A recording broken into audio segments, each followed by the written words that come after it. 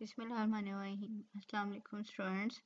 अब हमारे जो नेक्स्ट दो एक्सपेरिमेंट हैं, वो रिलेट करने हैं मालिकुलर मैस ऑफ़ सलूट की डिटर्मिनेशन को।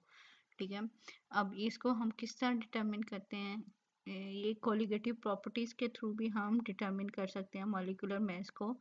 जैसा कि डिप्रेशन इन फ्रीजिंग पॉइंट या फिर एलिवेशन ऑफ़ बॉइलिंग पॉइंट के थ्रू भी हम जो है ना यहाँ पे इसको डिटरमिन कर सकते हैं। या अगर आप लोगों ने वर्ड पढ़े हो क्रायोस्कोपिक कांस्टेंट और अबिलियोस्कोपिक कांस्टेंट ठीक है? तो उनके थ्रू भी हम जो है, किसी भी सलूट का मलिकुलर वेट जो है डिटरमिन कर सकते हैं, जो कि किसी भी सॉल्वेंट के अंदर ऐड हो रहा होता है और सोल्यूशन बनाता है। ठीक है? अब डिपेंड करता है कि ये अगर हमारे पास सलूट जो है नॉन वोलेटाइल और नॉन इलेक्ट्रोलाइट है तो फिर हम जो है इसकी सिंपल कॉलिगेटिव प्रॉपर्टीज़ को मेयर कर सकते हैं यहाँ पे।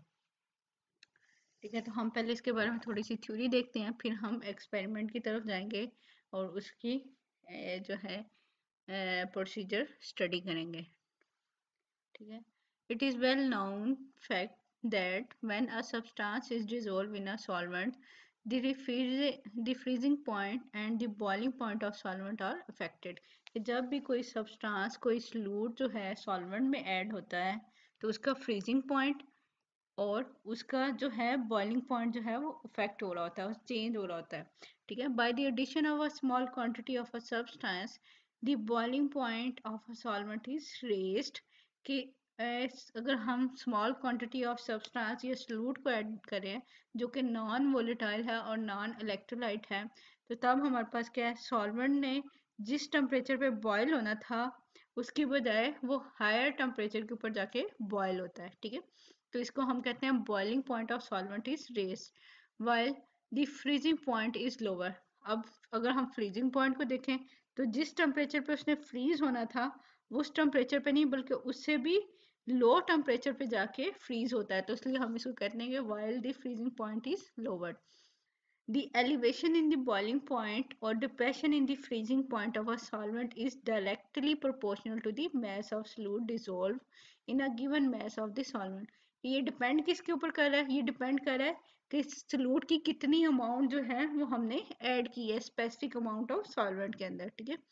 The elevation in the boiling point or depression in the freezing point produced by one mole of any substance in a fixed mass of solvent such as 100,000 gram of solvent के अंदर इसको हम डाल रहे हैं एक मोल ऑफ़ सब्सटेंस को तो फिर हम इसको क्या कहते हैं इज़ अ कांस्टेंट क्वांटिटी तो तब ये हमारे पास क्या होगा कांस्टेंट क्वांटिटी होगा and it is represented by symbol K B and K F respectively ठीक है?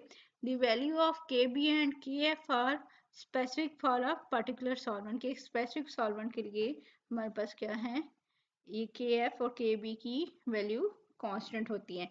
Kb हमारे पास क्या बॉइलिंग पॉइंट से रिलेटेड है? जिसे हम अबिलियोस्कोपिक कह देते हैं और Kf हमारे पास क्या फ्रीजिंग पॉइंट से रिलेटेड है, वो हमारे पास क्रायोस्कोपिक कांस्टेंट आ जाता है। इसकी वैल्यू किसी भी स्पेसिफिक सॉल्वेंट के लिए कांस्टेंट होती है। There is a relationship between the amount of solute dissolved in a given mass of solvent, the elevation in the boiling point or depression in the freezing point and the molecular mass of a substance. कि हमारे पास एक relationship आ जाता है कि हम के B का relationship निकाल लेते हैं मॉलिकुलर मैस ऑफ़ सब्सटेंस के साथ या के एफ़ का रिलेशनशिप निकाल लेते हैं मॉलिकुलर मैस ऑफ़ सब्सटेंस के साथ तो ये हमारे पास क्या है कि जो भी हम सलूट ऐड करें, उसका मॉलिकुलर मैस अगर हमने निकालना है तो ये क्या होगा?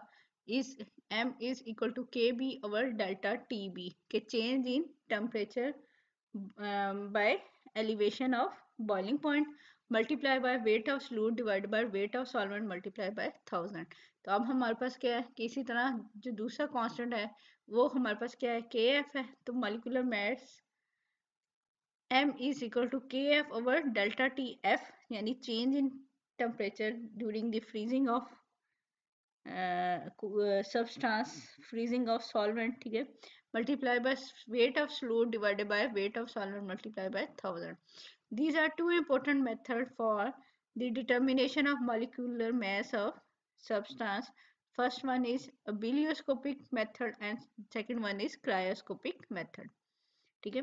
बिलियोस्कोपिक में हम क्या कर रहे हैं? हम elevation of boiling point measure कर रहे हैं क्रायोस्कोपिक में हम क्या कर रहे हैं कि फ्रीजिंग पॉइंट को मेजर कर रहे हैं ठीक है? In the determination of molecular mass By abelioscopic or cryoscopic method, it is necessary to determine the boiling point or freezing point of pure solvent and that of solution of known concentration. कि हमने अगर इन method के through अगर हमने molecular weight निकालना है तो हमें उसका सोल्यूशन का और प्योर सॉल्वेंट का फ्रीजिंग पॉइंट भी मालूम होना चाहिए और बॉइलिंग पॉइंट भी मालूम होना चाहिए the difference between the two temperature is too small to be measured accurately with an ordinary thermometer की ऑर्डनरी थर्मोमीटर से इस चीज़ को मेयर नहीं किया जा सकता, लेकिन हम क्या कर सकते हैं स्पेसिफिक थर्मोमीटर ले लेते हैं, जिन पे जो डिफरेंस इन टेम्परेचर होता है, बहुत थोड़ा थोड़ा होता है मीन ग्रेजुएटेड होती है ये, बहुत स्मॉल डिफरेंस के साथ, और उससे हमें फिर भी स्मॉल सा चेंज भी पता चल जाता है उसके ऊपर से the difficulty is overcome by making use of Beckman thermometer. This thermometer with a large bulb has a range of only six degree. इसकी रेंज कितनी है? सिक्स डिग्री की है, यानी सिर्फ़ छः डिग्री ये ऊपर और नीचे जा सकता है। And is graduated into point zero one register temperature difference and not absolute value इसके, इसका डिफरेंस कितना है यहाँ पे? एक डिग्री का दूसरी डिग्री के दरमियान या एक लाइन का दूसरी लाइन का डिफरेंस कितना हमारे पास? पॉइंट ज़ीरो वन यानी ये स्मॉल से चेंज के बारे में भी इंफॉर्मेशन देगा। इसमें कोई हंड्रेड की लाइंस नहीं है, ठीक है? यानी जैसे हंड्रेड ज़ीरो से लेके हंड्रेड सेंटीग्रेड तक टेम्परेचर की रेंज नहीं है, बल्कि इसमें कितनी रेंज है? सिक्स डिग्री की चेंज होने की रेंज है। और एक लाइन जो है, उसका डिफरेंस जो है, वो दूसरी लाइन से वो पॉइंट ज़ीरो वन का है।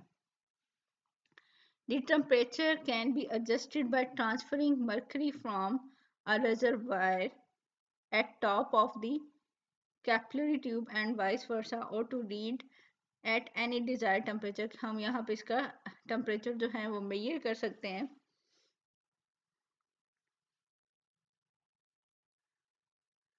Before using the Beckman thermometer, it must be set to desired range के हमने इसको यूज़ करने से पहले क्या कर सकते हैं? इसकी डिज़ायर रेंज के अंदर रख लेते हैं कि ये इसका टेम्परेचर जो है यहाँ से यहाँ तक चेंज होगा और मर्करी का को भी हम सेट कर लेते हैं। ठीक है कि मर्करी किस रेंज से किस रेंज तक जो है उसमें चेंज आना चाहिए।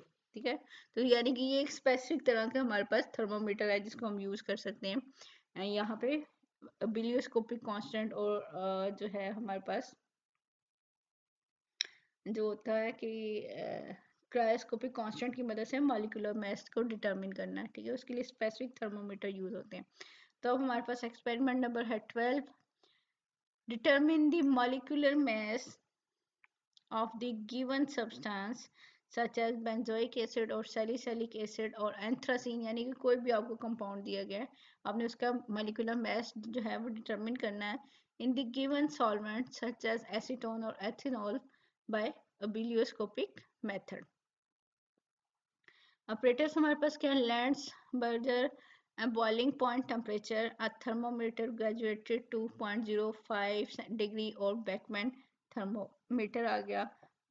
um, boiling points uh, flask a paper glass tubing and bath. हम पहले इसका प्रिंसिपल देख लेते हैं और साथ फिर उसका हम जो है प्रोसीजर चेक कर लेंगे ठीक है?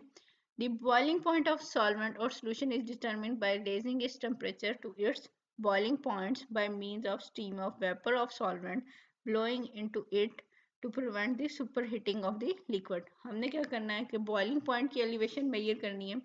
ठीक है?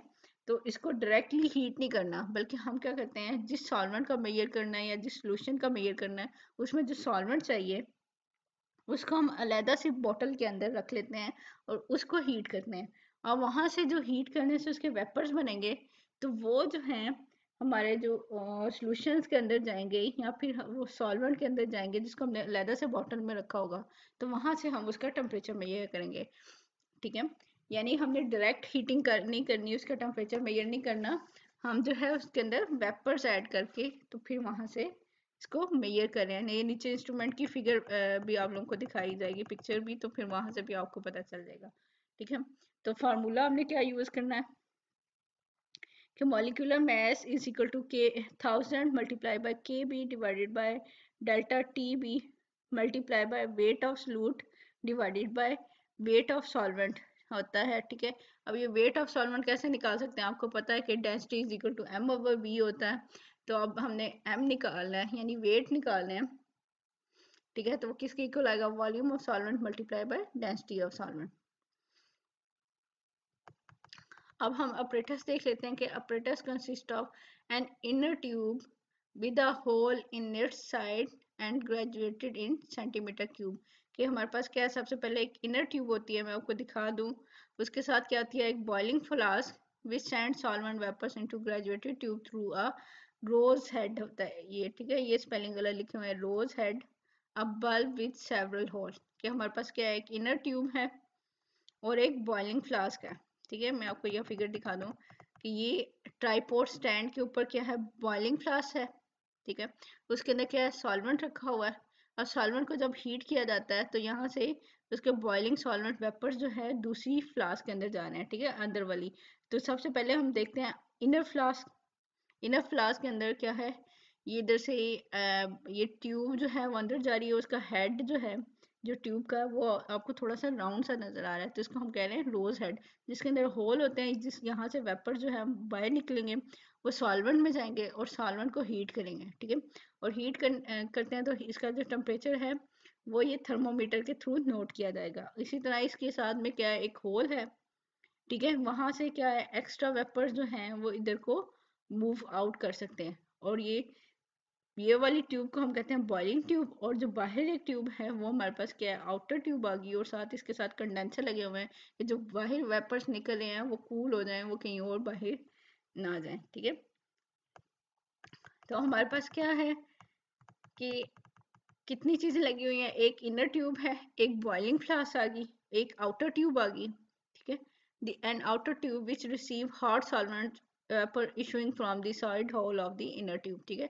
और साथ साथ हमारे पास क्या है? थर्मोमीटर है डिपिंग इन सॉल्वेंट और solution in the inner tube और इनर ट्यूब के अंदर हमने थर्मोमीटर लगाया हुआ स्पेसिफिक थर्मोमीटर है हमारे पास, ठीक है? अब हम प्रोसीजर देख लेते हैं। Take about 100 cubic centimetre of solvent in the boiling tube के जो इधर पहले वाली फ्लास्क के अंदर है जिसे हमने कहा एक बॉइलिंग ट्यूब है, उसमें हमने 100 एम जो है वो सॉल्वेंट ले लिया। Add few pieces of broken porcelain to prevent super heating के, बहुत ज़्यादा हीटिंग को ख़त्म करने के लिए ग्लास के मटेरियल या पोर्सलिन जो है वो हम ऐड कर देते हैं इसके अंदर, ठीक है? सिरेमिक मटेरियल से कुछ ऐड कर दिया ताकि बहुत ज़्यादा हीट ना हो। Fill fill it with up with this stopper carrying this safety tube and bent glass tube कि यहाँ से हमारे पास क्या है? हमने इसको स्टॉप किया स्टॉपर्स के साथ लगाया हुआ ठीक है? ताकि हमारे पास क्या है? यहाँ ऊपर वाली से ये जो सीधी सी ट्यूब आ रही है, इसे तो हम सॉल्वेंट ऐड करेंगे, ठीक है? और दूसरी वाली क्या है? कि इसको बैंड करके इनर ट्यूब के अंदर जो है, वो मूवमेंट के लिए लेके गए वहाँ से सॉल्वेंट के वेपर जो है दूसरी ट्यूब के अंदर जा रहे हैं see that the end of the safety tube dips under the surface of the solvent के उसको solvent की surface के अंदर dip होना चाहिए place the pure solvent in the graduated inner tube के inner tube के अंदर हम simple solvent रखेंगे पहले uh, fit fit up the thermometer graduated to 0.05 degree and a glass tube terminated with a small bulb having small hole in it. और उसके अंदर small tube भी है, जिसके ऊपर एंड पे क्या लगा हुआ है? रोज हेड की फॉर्म में है हेड इसका ठीक है? यानी कि वो थोड़ा सा होल है उसके अंदर और थोड़ा बड़ा है।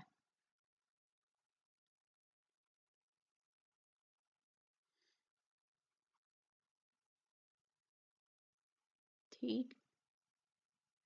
And a glass tube terminated with a small bulb having a small hole in it. Keep it in and the outer tube अब ये जो इनर वाली ट्यूब है, इसको हम क्या करेंगे? आउटर ट्यूब के अंदर रख देंगे which receive the hole hot solvent vapor issues from the side hole of the inner tube.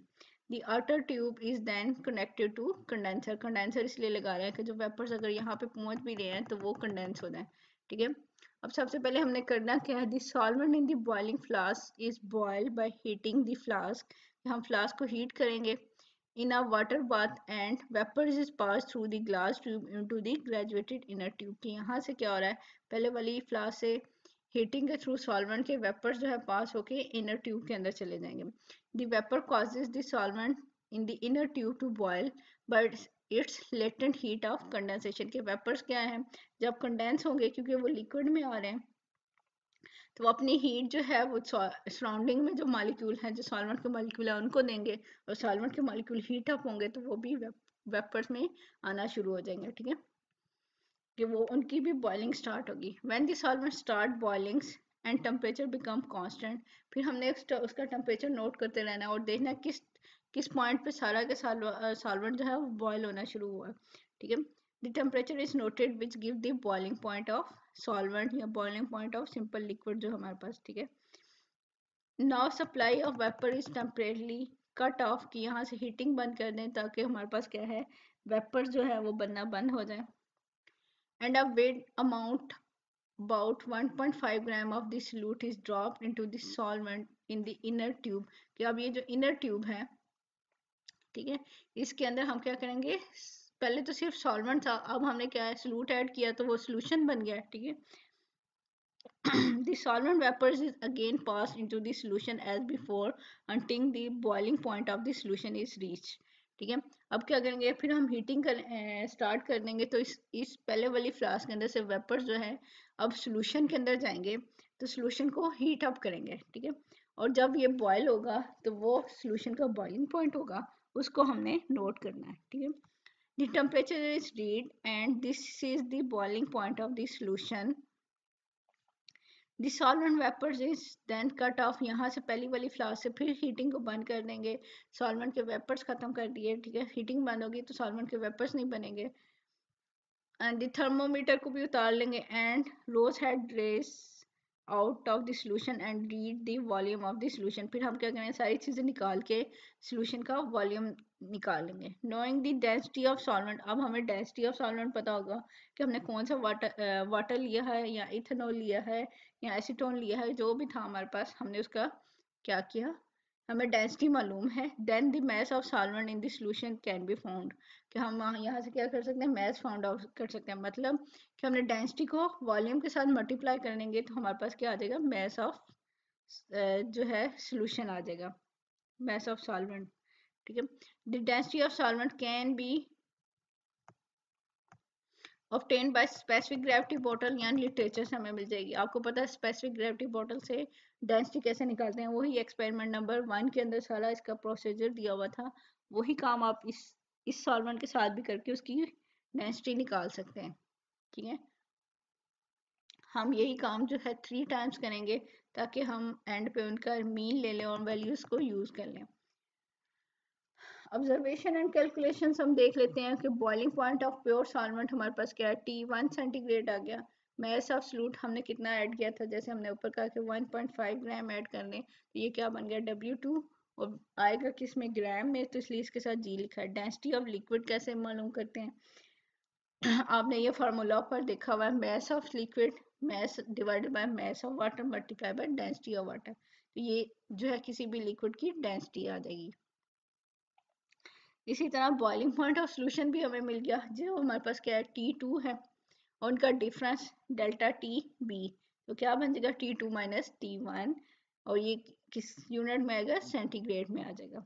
Volume of solvent हमें वॉल्यूम ऑफ़ सॉल्वेंट भी पता चल जाएगा कि हमने स्पेसिफिक अमाउंट ऑफ़ सॉल्वेंट जो है वो ऐड किया हुआ था। ठीक है? तो वहाँ से हम मालूम कर सकते हैं।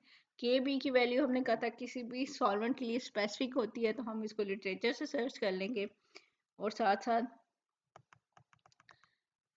फार्मूला पुट करेंगे फार्मूले में वैल्यूज़ पुट करेंगे और उसके साथ हम क्या करेंगे जो भी हमने सब्सटेंस ऐड किया हुआ है, उसका मॉलिक्यूलर वेट निकाल लेंगे। प्रिकॉशंस देख लेते हैं this solvent must be pure and liquid in the boiling flowers must be the same as the solvent in the inner tube की जो इनर ट्यूब में रखना है सॉल्वेंट वो ही रखना है हमने सॉल्वेंट जो बॉइलिंग फ्लास है, ठीक है, ताकि उसी के वेपर जो है सॉल्वेंट के अंदर जाए। The boiling point must be steady and that is ensured by introducing piece of broken porcelain के बॉइलिंग पॉइंट जो है एकदम से नहीं आना चाहिए, यानी हीटिंग बहुत ज़्यादा नहीं होनी चाहिए, बल्कि स्लोली स्लोली जो है ना उसको हीट करना चाहिए ताकि एग्जैक्ट रीडिंग्स हम कैलकुलेट कर सकें। This fluid must be non volatile and solvent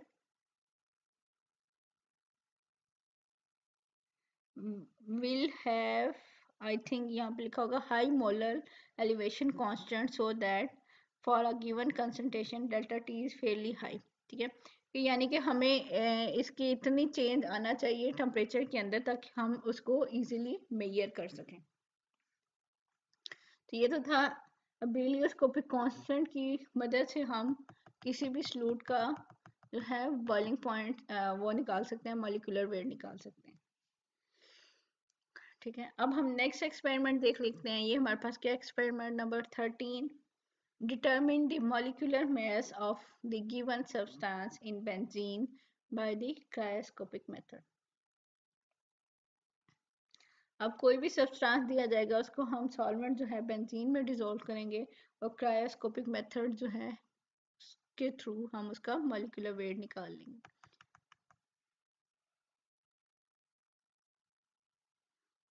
तो सबसे पहले हम अप्रेटस देखेंगे। अपरेटस में क्या आएगा? Freezing point tube Beckmann thermometer और thermometer graduated to point zero five degree and ordinary thermometer आ गया टू स्टीलर आ गया one small and one large आ गई pipette and a large tube ice and salt of for freezing mixture ठीक है? अब हम हमारे पास क्या है? सबसे पहले हम इसका प्रिंसिपल देख लेते हैं। In determination of molecular mass of substance the depression in the freezing point of pure solvent is determined experimentally. कैसे हम एक्सपेरिमेंटली इसको डिटरमिन कर सकते हैं? By adding a known amount of solute to a known amount of the substance which is solvent कि कोई भी substance है उसकी हम अमाउंट uh, हमें मालूम होनी चाहिए यानी कितने अमाउंट डालें या नंबर ऑफ़ मोल डालने हैं किसी भी स्पेसिफिक सॉल्वेंट की के अंदर ठीक है? Then the molecular mass of the given substance is calculated by the following equation the molecular mass m is equal to kf over delta tf multiplied by weight of fluid divided by weight of solvent multiplied by thousand हम ये equation use करेंगे और values निकाल सकते हैं तो सबसे पहले हम देखते हैं कि फ्रीज ये जो फ्रीजिंग पॉइंट ऑपरेटर्स है उसके अंदर क्या क्या चीज़ें हैं ठीक है the freezing point the operators consist of a freezing point tube with a side arm for introducing the solute and fitted with the thermometer graduated to 0.05 degree and a stirrer सबसे पहले हमारे पास क्या है? कि फ्रीजिंग पॉइंट ट्यूब है, ये जो इनर वाली ट्यूब है, सबसे इनर वाली, ठीक है? ये जो ऊपर नज़र आ रही है, ये हमारे पास फ्रीजिंग पॉइंट ट्यूब है। ये जो टी आपको नज़र आ रहा है, ये हमारे पास है आर्म साइड आर्म जिससे हमने सलूट को इंट्रोड्यूस करवाना है। और साथ में इसके अंदर क्या लगा हुआ है? एक स्टीरर है और एक हमारे पास क्या है? थर्मोमीटर लगा हुआ है। तो ये इनर ट्यूब जो आ गई हमारे पास फ्रीजिंग पॉइंट ट्यूब है। उसके बाहर क्या है? An outer larger tube into which is fixed with uh, into which is fixed the freezing tube. The space between provides an air jacket. अब ये जो इनर ट्यूब थी हमारे पास फ्रीजिंग पॉइंट ट्यूब वो फिक्स हुई हुई है एक और राउंड सी ट्यूब के अंदर, जिसको हम कहते हैं आउटर जैकेट या आउटर ट्यूब ठीक है? अब ये दोनों चीज़ें कनेक्टेड हैं कार के थ्रू ठीक है? स्टॉपर के थ्रू आपस में जुड़ी हुई हैं और इसको हम वैसे निकाल भी सकते हैं, क्योंकि स्टॉपर को ओपन करें निकालें तो हम इस अंदर वाली ट्यूब को निकाल सकते हैं। और उसके बाद फिर इसको जो है हमने एक फ्रीजिंग मिक्सचर के अंदर यानी एक बड़े से बीकर के अंदर रखा हुआ है और इसके नीचे आपको ये स्टिरर नज़र आ रहा होगा ताकि हम इसको जो है शेक करते रहे, हिलाते रहे, उसके लिए लार्ज स्टीरर रिक्वायर्ड था। ठीक है? और थर्ड हमारे पास क्या large outer vessel containing this freezing mixture ice and salt के नीचे हमने फ्रीज करने के लिए आइस और कोई ना कोई सॉल्ट डाला हुआ है तो ताकि ये फ्रीजिंग मिक्सचर के तौर पे काम करे। तो हम प्रोसीजर देख लेते हैं कि हमने प्रोसीजर में क्या करना है। अब we are definite quantity such as 15 gram of the solvent solvent ले लिया हमने अमाउंट इसकी स्पेसिफिक कर दी and place it in the freezing point tube के उसको हमने क्या किया? फ्रीजिंग पॉइंट जो अंदर वाली ट्यूब है उसके अंदर डाल दिया। Fit fit it up with the stopper carrying the thermometer and stirrer कि इसके अंदर स्टीलर लगा दिया और थर्मोमीटर लगा दिया। The thermometer bulb should be completely immerse in the solvent कि इसको सॉल्वेंट की अंदर होना चाहिए थर्मोमीटर के बल्ब को। Determine the approximate freezing point of the solvent by directing cooling the freezing point tube in the cooling bath. कि सबसे पहले हमने क्या करना है? सॉल्वेंट का फ्रीजिंग पॉइंट नोट करना है, ठीक है? तो सॉल्वेंट वाले को जो है फ्रीजिंग मिक्सचर है, उसके अंदर रख लिया और चेक कर लिया कि इसका फ्रीजिंग पॉइंट कितना आ रहा है। ठीक है? फ्रीजिंग मिक्सचर के अंदर या फ्रीजिंग बाथ के अंदर कूलिंग बाथ के अंदर रख लिया। ठीक है? अब इसके बाद हमने क्या करना है? When the liquid is solidified मतलब ये फ्रीज हुआ है सो थोड़ा सा सॉलिड बनना शुरू हुआ है। The tube is taken out and heated by the friction with the palm to melt the solid ठीक है? अब ये जब थोड़ा सा फ्रीज होगा तो उसको निकाल लेंगे और हाथ से उसको रब करेंगे। ये जो बॉटल है उसको घुमाएँगे तो हा, हाथ से जो हीट जो है ट्रांसफ़र होगी तो वो थोड़ा सा मेल्ट हो जाएगा।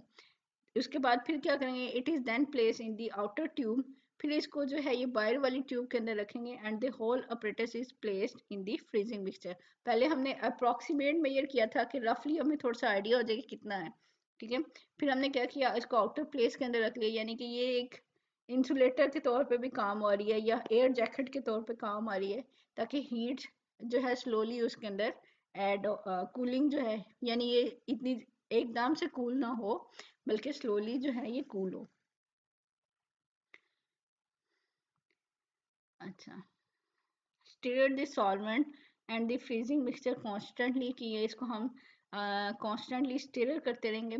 Steady reading of the thermometer when the solids uh, when the liquid solidify give the freezing point of the pure solvent कि अब हमने क्या किया है कि स्लोली स्लोली इसको कूल cool किया तो यहाँ पे जब उसको जब ये सोल्डिफाई होगा तो ये हमारे पास क्या होगा? उसका प्योर सॉल्वेंट का फ्रीजिंग पॉइंट हो जाएगा। The freezing point tube is then taken out and allowed to stand in air until the solid solvent melt कि हम क्या करेंगे? ट्यूब को फिर निकाल लेंगे। फिर निकालेंगे, इसको एयर में रखेंगे या हाथ के साथ इसको थोड़ा सा मूव करेंगे। तो सॉल्वेंट क्या है? वो मेल्ट हो जाएगा। ठीक है? अब इसके बाद फिर क्या करना है? अब weight amount like 0.1 say 0.2 gram of the solute is introduced through the side arm into the solvent अब सॉल्वेंट के अंदर हमने क्या किया? कि हम क्या करेंगे? सलूट को ऐड करेंगे। It is then placed in the outer tube इसको आउटर ट्यूब में रख देंगे and the whole operator is place in the freezing mixer freezing mixer में रखेंगे, अब इसका, इसको स्टिलर करते रहेंगे और इसका फ्रीजिंग पॉइंट नोट करेंगे।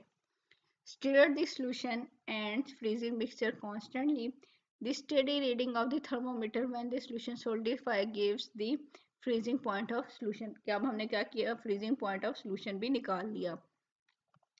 Our further quantity of solute may be then added to take the another reading and so on. कि अगर हमने और रीडिंग लेनी है तो हम थोड़ी सी अमाउंट में सलूट और ऐड करेंगे। ठीक है? फिर हम देखेंगे कि ये कितने टेम्परेचर के ऊपर सोल्डिफाई होता है। तो हम वैल्यूज़ को नोट करते जाएँगे। ठीक है? अब हम ऑब्जर्वेशंस एंड कैलकुलेशंस देख लेते हैं।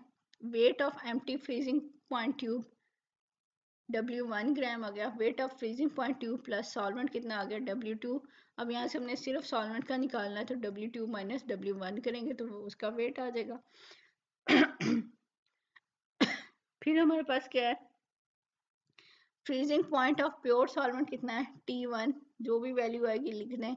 K F for the solvent benzene कितनी है? ये हम लिटरेचर से सर्च कर सकते हैं, ठीक है? क्रायोस्कोपिक कांस्टेंट फॉर बेंजीन ठीक हो गया। अब यहाँ टेबल के अंदर सारी वैल्यूज़ को पुट करें और मॉलिकुलर वेट निकाल सकते हैं कि हमारे पास क्या है, वेट ऑफ़ स्लूट एडेड, कितना हमने डाला है स्लूट ग्राम में, ठीक है? पहली रीडिंग में हमने कितना डाला? था पॉइंट वन से पॉइंट टू ग्राम। अगली वाली में कितना डाला? और से अगली वाली में कितना डाला? ठीक है? Freezing point of solution T two कितना है? फ्रीजिंग पॉइंट ऑफ़ सॉल्वेंट कितना था? तो डेल्टा एफ़ निकाल लेंगे T one minus T two. ठीक है? और मालिकुलर वेट निकालने के लिए क्या होगा? K F over delta T F multiply by weight of solute divide by weight of solvent multiply by thousand तो इस इस तरह हम क्रायोस्कोपिक कांस्टेंट की मदद से जब हम freezing point of solvent and solution निकाल लें तो वहाँ से हम मालिकुलर वेट ऑफ़ सलूट भी निकाल सकते हैं, जो कि हमने ऐड किया होता है सॉल्वेंट के अंदर सोल्यूशन बनाने के लिए, ठीक है? प्रिकॉशंस देख लेते हैं। This solvent must be pure super cooling should be avoided ये सुपर कूलिंग नहीं होनी चाहिए स्लोली स्लोली इसको कूल होना चाहिए. The temperature of the cooling bath should not be more than three degree below the freezing point of the solvent के solvent का जो फ्रीजिंग पॉइंट है, उससे ज़्यादा लो नहीं होना चाहिए जो कूलिंग बात है. क्योंकि अगर बहुत ज़्यादा उससे लो हुआ तो सॉल्वेंट जो है वो बहुत ज़्यादा जल्दी कूल हो जाएगा. This student should be uniform and should not be very rapid के स्लोली इसको मूव करना है और लेकिन होनी यूनिफॉर्म चाहिए। ये नहीं है कि एक दफ़ा हिला दिया तो उसके बाद हिलाया नहीं। ठीक है, ये कुछ क्वेश्चंस हैं। आपने इसी तरह के और क्वेश्चन भी तैयार कर लेने हैं। Define the molar boiling point elevation constant यानी के बी क्या है? It is the elevation in the boiling point of solvent produced when one mole of a solute is dissolved in 100 gram of the solvent, and it is denoted by. इसी तरह rods law क्या है? Actually जिन लोगों ने fourth semester के अंदर chemistry special topics पढ़ा है तो उन्होंने ये कोलिगेटिव प्रॉपर्टीज़ बड़ी डिटेल में पढ़ी है, लेकिन जैसे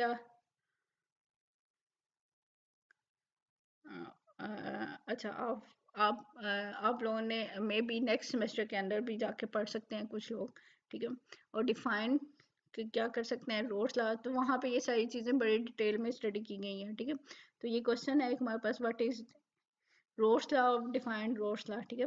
The lowering of vapour pressure और dilute solution containing non electrolyte non volatile solute is directly proportional to the mole fraction of this solute की। ये उसकी एक स्टेटमेंट है रोड्स ला की। What are colligative properties the properties of a dilute solution will depend upon the number of solute molecules but do not on their or called colligative properties ये colligative properties वो होती हैं जो कि किसी भी substance या किसी भी solute के number of नंबर पे डिपेंड करिए या आप उसकी कह हैं मोल पे डिपेंड करिए या अमाउंट पे डिपेंड करिए उसकी नेचर पे डिपेंड नहीं करिए ठीक है नेम फोर कोलिगेटिव प्रॉपर्टीज़ हमारे पास कोलिगेटिव प्रॉपर्टीज़ कौन कौन सी हो सकती है? जैसे लोवरिंग ऑफ़ वेपर प्रेशर है एलिवेशन ऑफ़ बॉइलिंग पॉइंट है डिप्रेशन ऑफ़ फ्रीजिंग पॉइंट है और ऑस्मोटिक प्रेशर है। तो ये तो थे दो एक्सपेरिमेंट जो कोलिगेटिव प्रॉपर्टी से रिलेटेड और वहाँ से हम क्या कर सकते हैं? बिलियोस्कोपिक कांस्टेंट और जो है क्रायोस्कोपिक कांस्टेंट की मदद से किसी भी सल्यूट का जो है डिटरमिन कर सकते हैं मॉलिकुलर मैस आप लोगों ने इनको भी अपनी कॉपी पर लिख लेना। अच्छे से प्रिपेयर कर लेने हैं, अच्छे तरीके से याद कर लेने हैं और इसका प्रोसीजर और ऑब्जर्वेशंस और कैलकुलेशन लिख लेनी है।